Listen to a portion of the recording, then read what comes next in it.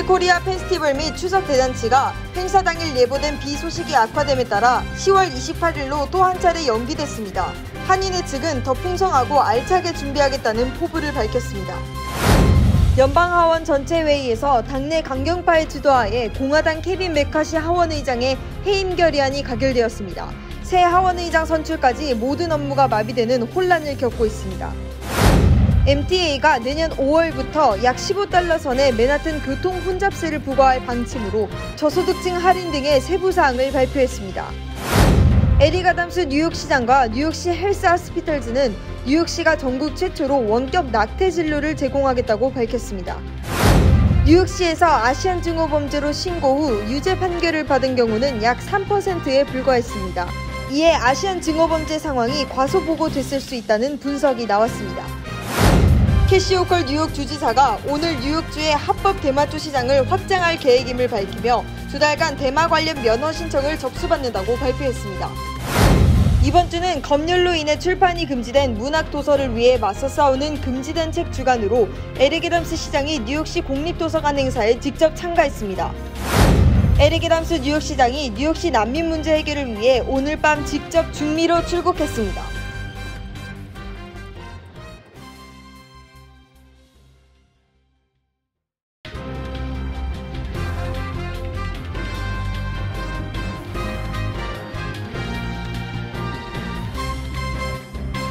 여러분 안녕하십니까? KBTV 뉴스9 이창원입니다. 뉴저지 한인사회의 최대 명절 축제인 뉴저지 코리안 페스티벌 및 추석 대잔치가 오는 28일로 또 한 차례 연기됐습니다. 행사 당일 예보된 비 소식이 악화됨에 따라 주민들의 안전과 원활한 축제 진행을 위해 연기된 것인데요. 시간을 더 번 만큼 행사를 더 풍성하고 알차게 준비하겠다고 전했습니다. 자세한 소식 김은지 기자가 전해드립니다. 오늘 오전 뉴저지 한인회는 보도자료를 통해 2023년 제22회 뉴저지 코리아 페스티벌 및 추석대잔치가 오는 28일로 연기돼 개최된다고 밝혔습니다. 당초 행사는 9월 30일 예정됐었는데 전날 뉴욕 일원을 덮친 홍수 경보로 공원국 측이 잔디 훼손 문제를 제기해 오는 토요일인 7일로 연기됐다가 7일에도 예보된 비 소식이 뇌우를 동반하게 되는 등 악화되면서 또 한 차례 연기된 것입니다. 이로써 올해 축제는 10월 28일 오전 11시부터 오후 8시까지 뉴저지 릿지필드 파크에 소재한 오버펙 공원에서 진행됩니다. 비즈니스 vendor는 당일 오전 8시부터 설치가 가능하며 오프닝 행사는 오후 2시, 한복 콘테스트 3시 30분, 동포 노래자랑 4시, 케이팝 콘테스트 5시 30분으로 원래 일정대로 진행됩니다. 뉴저지 한인회 측은 9월 30일에서 10월 7일로 한 차례 연기됐을 때 적지 않은 비즈니스 vendor들과 food vendor, 콘테스트 참가자들이 이미 예정돼 있던 스케줄로 인한 불참 소식을 전해왔다며 후원 기업들 그리고 주민분들이 힘을 보태어 진심을 다해 준비한 축제가 정상적으로 운영되기 힘들 것으로 판단돼 고심 끝에 재조정을 결정했다고 전했습니다. 한인회는 추석 대잔치가 뉴저지 한인사회 대표 축제이고 최대 명절 행사인 만큼 부족함 없이 잘 치르고 싶다는 입장으로 주민분들께 양해를 부탁했습니다. 한인회는 약 3주간의 시간을 더 얻은 만큼 주민들에게 제공될 선물과 프로그램들을 재정비하고 더 풍성하게 준비할 계획이라고 포부를 밝혔습니다. 아울러 행사 당일 참가할 비즈니스 및 food vendor들의 신청을 연장해 받기로 했다며 많은 관심을 당부했습니다. KBTV 뉴스 김은지입니다. 미국 권력 서열 3위인 공화당 케빈 맥커티 하원 의장이 당내 강경파가 주도한 해임 결의안이 가결돼 해임되면서 연방 하원이 대혼돈에 빠졌습니다. 중요 의회 일정이 미뤄지며 당분간 대혼란을 피하기 힘들 것으로 전망됩니다. 하원 의장이 해임된 것은 234년 미 의회 역사상 처음입니다. 전장 기자가 전해드립니다. 하원은 전체 회의에서 메카시 의장 해임안을 찬성 216표, 반대 10표로 가결했습니다. 전날 해임안을 제출한 매트 게이츠 의원을 비롯해 공화당 강경파 의원 8명이 찬성표를 던진 가운데 당론으로 해임안 찬성을 결정한 민주당은 208명 전원이 일치된 표결을 행사했습니다. 이로 인해 새로운 하원 의장이 선출될 때까지 연방 하원의 모든 업무가 마비되는 사상 초유의 혼란을 겪고 있습니다. 234년 미국의 헌정 사상 하원 의장 축출 시도는 그동안 세 차례 있었지만 표결로 의장직을 상실한 것은 이번이 처음입니다.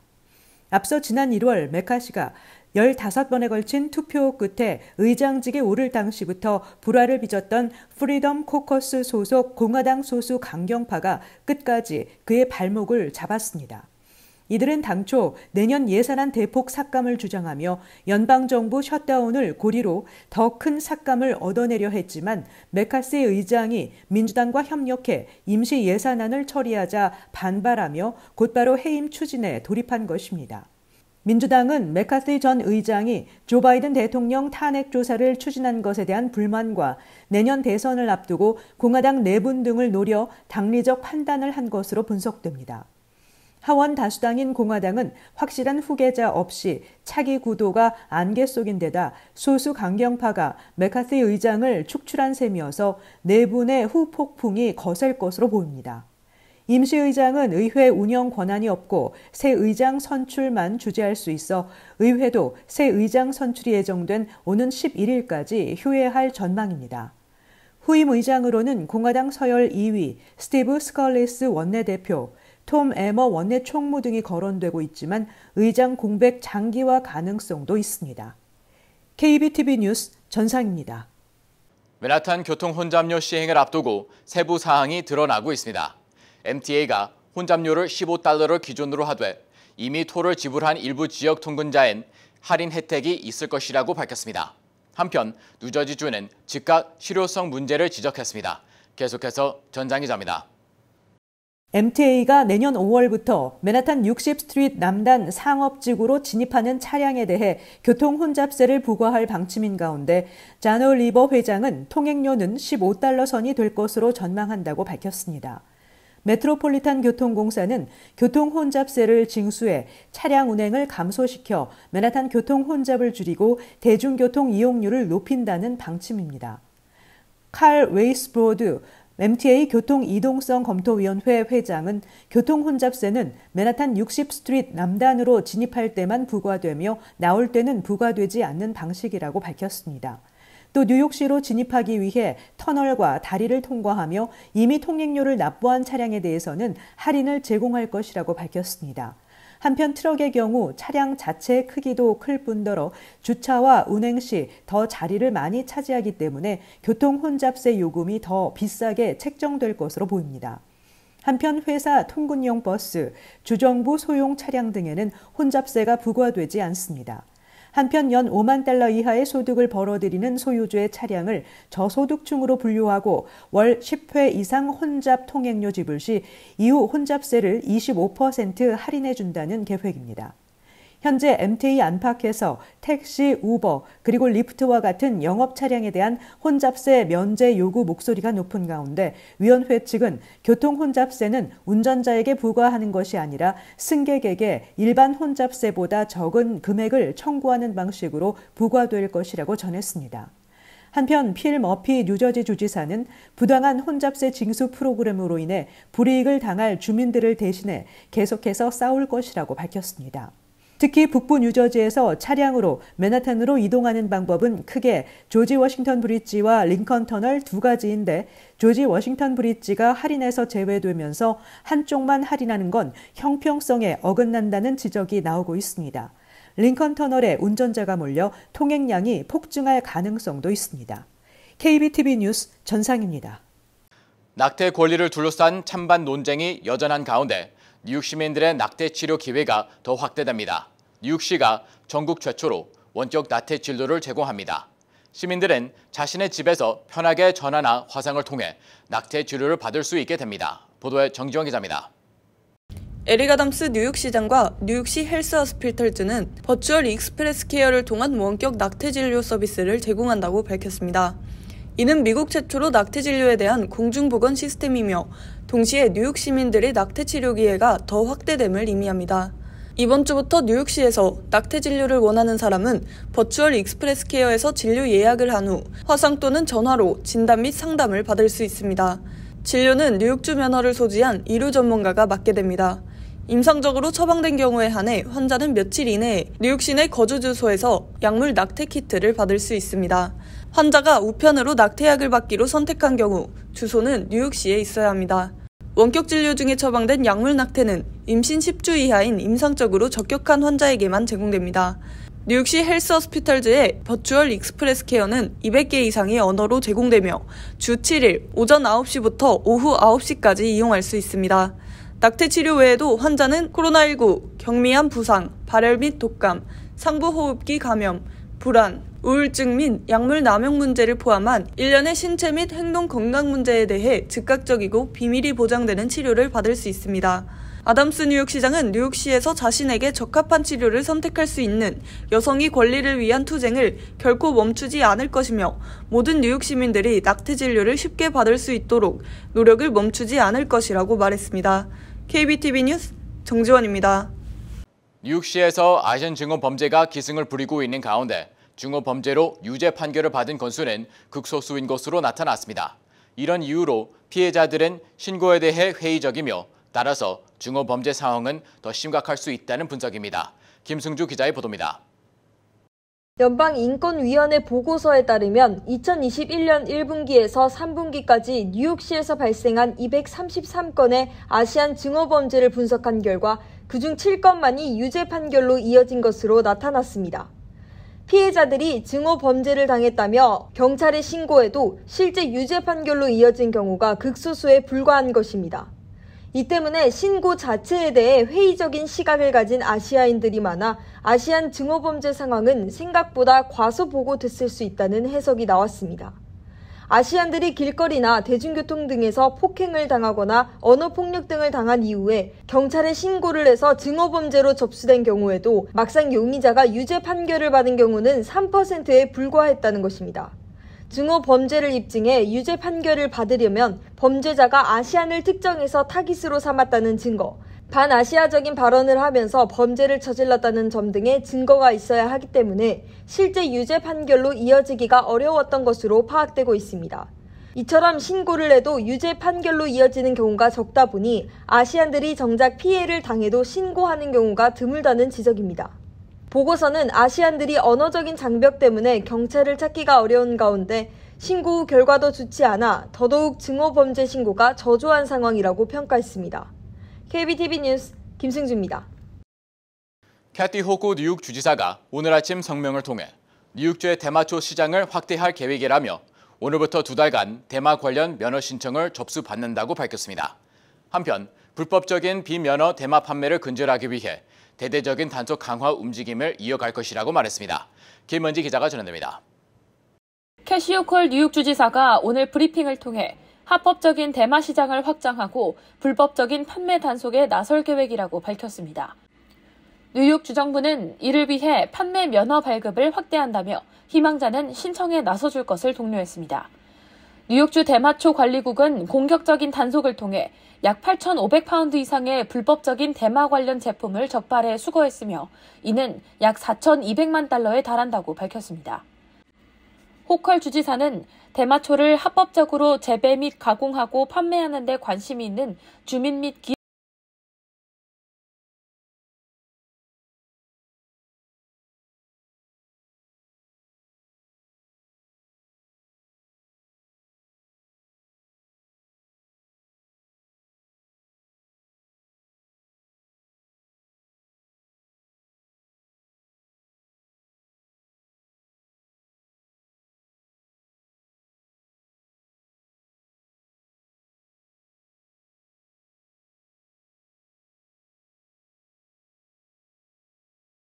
자들의 사업을 돕기 위한 것으로 미국 내에서 가장 건전하고 공정한 대마 사업을 구축하기 위해 앞장설 것이라고 말했습니다.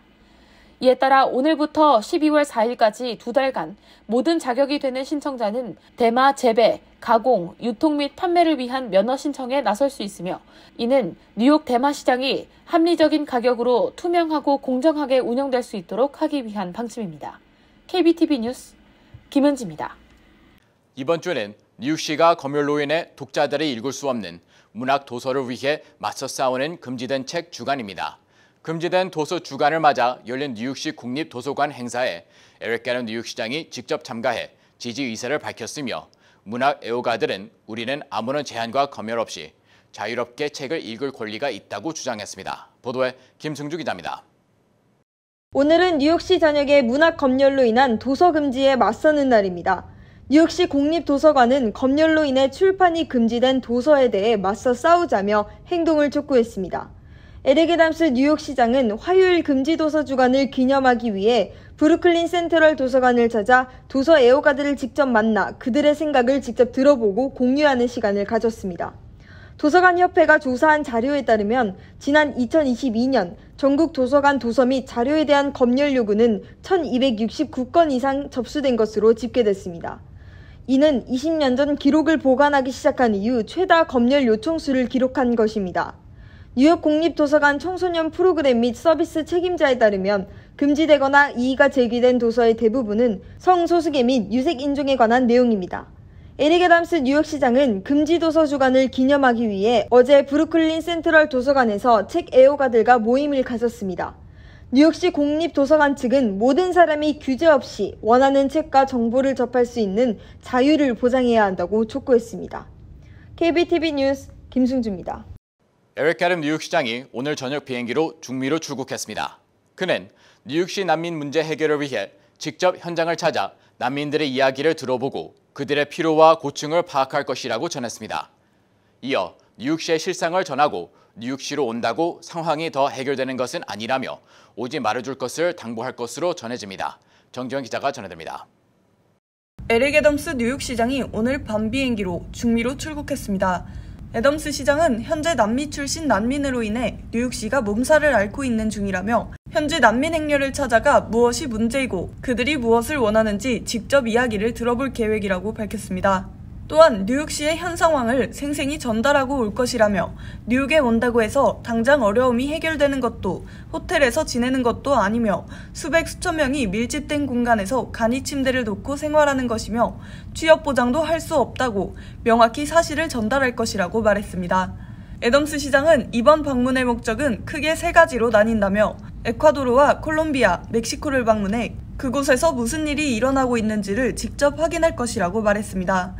이어 그들에게 뉴욕시에서는 무슨 일이 일어나고 있는지에 대해 실질적으로 전할 것이며 그곳의 지도자들과 만나 난민위기 대처를 위해 무엇을 원하는지, 무엇이 필요한지 파악하고 올 것이라고 밝혔습니다. 이어 현재 뉴욕시가 수용하고 있는 난민의 수는 11만 7천 명을 넘어섰으며 최근 하루 600명꼴로 난민이 유입되고 있다고 지적했습니다. 이어 연방 정부가 베네수엘라 출신 난민들에게 임시 취업 면허를 발급하고 있는데 다른 국가 난민들도 자신도 미국에 도착하기만 하면 취업의 기회가 있다고 잘못 생각하고 오는 경우가 많다며 이 같은 허위 정보에 맞서 사실만을 명확히 전달하고 올 것이라고 말했습니다. 애덤스 시장은 현장을 찾아 뉴욕시로 오지 말아줄 것을 당부할 것으로 전해지며 오늘부터 시작되는 중미 방문 일정을 마치고 이번 일요일에 돌아오게 됩니다. KBTV 뉴스 정지원입니다. 소비자 권익 옹호 비영리 단체인 공익연구그룹은 최근 발표한 보고서에서 메스터카드가 사용자들의 결제 기록을 보관하고 고객 동의 없이 제3자 업체에 판매했다고 주장했습니다. 단체는 메스터카드가 자체 기록한 소비자들의 결제 정보를 판매해 큰 이익을 거뒀으며 이를 위해 전담 부서까지 조직했다고 덧붙였습니다. 단체는 이 같은 정보가 판매되면 소비자들이 신분 도용과 각종 스캠 등의 범죄에 노출될 수 있다고 우려했습니다. 시민자유연맹과 디지털 민주주의 센터 등 9개 소비자 보호 단체들은 메스터카드에 마이클 미에바흐 최고 경영자의 고객 정보 판매 금지를 요구하는 서한을 전달한 것으로 전해졌습니다. 조 바이든 대통령은 연방 재원 학자금 대여와 관련해 졸업생들의 대출금 상환과 이자 정기 지불을 추가로 면제해주는 탕감 조치를 발표했습니다. 기존 면제 프로그램을 활용한 추가 조치로 12만 5천 명의 대출금 채무 졸업자들이 90억 달러의 빚을 갚지 않아도 되는 혜택을 보게 됩니다. 바이든 취임 이후 이 같은 탕감 조치 규모는 360만 명에 걸쳐 총 1,270억 달러에 달한다고 백악관은 말했습니다. 그럼에도 대학 재학 중 등록금과 생활비를 연방 재정의 학자금 대출로 얻어 졸업 후 이를 갚아야 하는 졸업생 수는 아직도 수백만 명에 이르고 그 총액은 1조 달러가 훨씬 넘는 것으로 나타났습니다. 제한적일 수밖에 없는 바이든 탕감으로 학자금 상환 문제를 모두 해결한 졸업자는 그다지 많지 않고 대부분 일부 면제에 그치고 있습니다.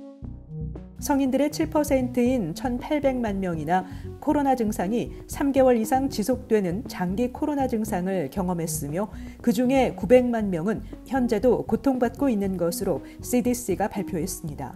또한 여성이 남성보다 롱 코비드에 더 많이 어려움을 겪고 있으며 35세에서 49세 사이가 가장 심한 것으로 나타났습니다.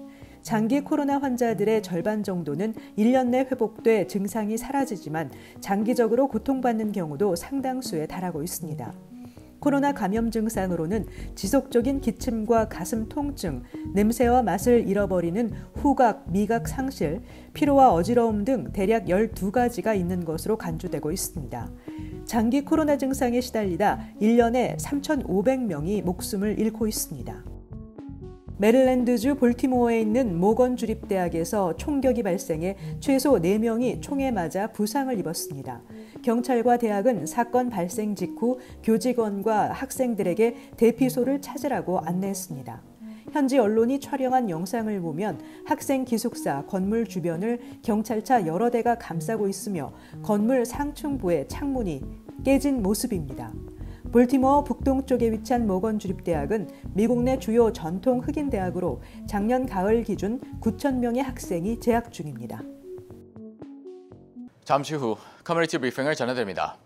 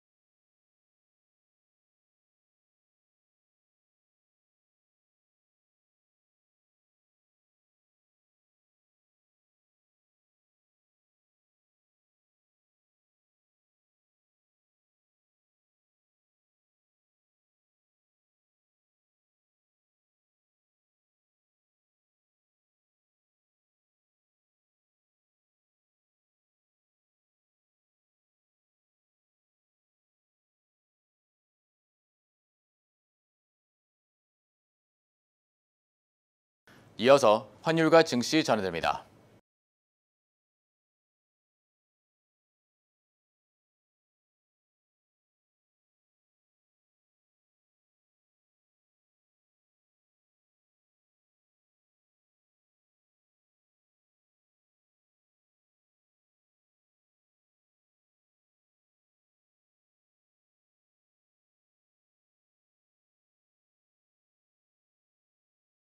잠시 후 뉴욕과 뉴저지 날씨 전해드립니다.